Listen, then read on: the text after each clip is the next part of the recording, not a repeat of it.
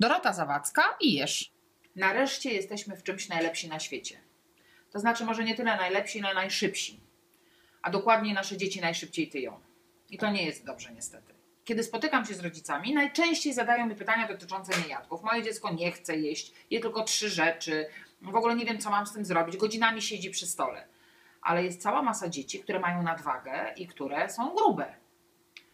Jak więc odchudzić dziecko bez poczucia krzywdy, że zabrania mu się jeść? Wszystko zależy od tego, w jakim wieku jest nasze dziecko. Bo dziecko powinno mieć możliwości jedzenia rzeczy zdrowych i pełnowartościowych. I to jest niezależne od wieku.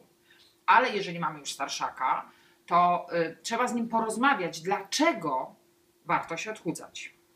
Y, nie powinno się takiego odchudzania przeprowadzać na własny rachunek. Warto się wybrać do specjalisty, y, zrobić wszystkie badania, skonsultować, co i jak dobrze zrobić, co zmienić. W ogóle często w życiu całej rodziny, bo my wszyscy generalnie źle jemy. Jemy za szybko, jemy niechlujnie, jemy śmieciowe żarcie. To nie jest dobrze, to nie jest również dobrze dla naszych dzieci.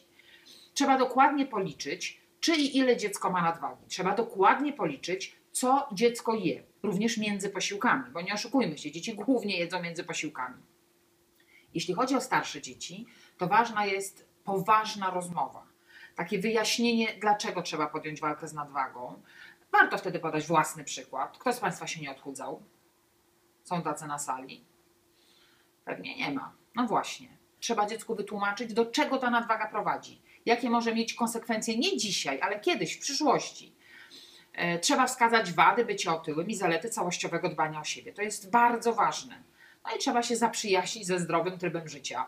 Ruch, zdrowe żywienie, przerwy między posiłkami, dużo wody, kompleksowy plan.